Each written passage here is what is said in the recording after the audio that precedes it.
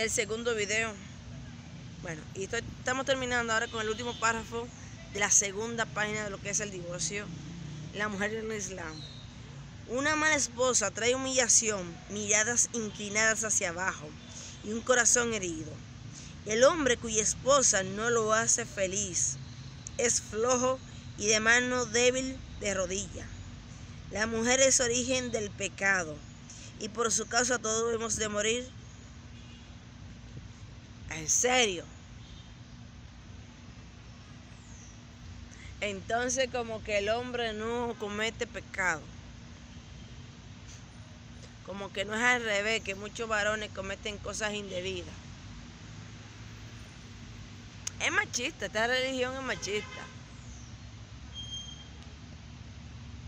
Las tres religiones de por sí, el judaísmo, el islam y el cristianismo, son machistas.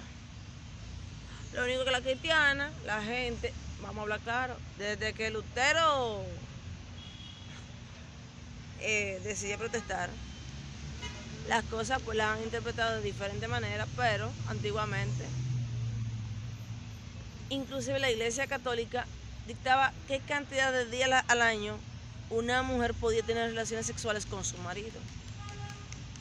Porque no contaba ni los días que estaba la mujer con la menstruación, ni los días de cientos santos podían la pareja tener relaciones sexuales en, el antiguo, en, en la antigüedad. Para que ustedes tengan una idea. Porque así lo hacían. Y lo sé porque mi abuela llegó a contar, la mamá de mi mamá llegó a contar, que, que una de sus hermanas, que era muy católica,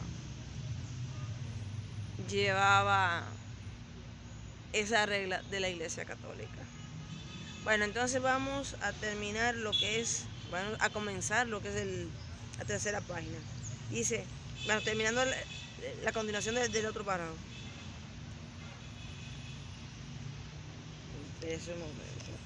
Aquí dice, no dejes gotear una cisterna re- resquebrajada, ni permitas a una esposa mala decir lo que le gusta. Es decir, para el judaísmo, una mujer no puede decir lo que, lo que realmente piensa. El asunto es, el hombre es el que decide. Y eso lo quieren poner en el Islam.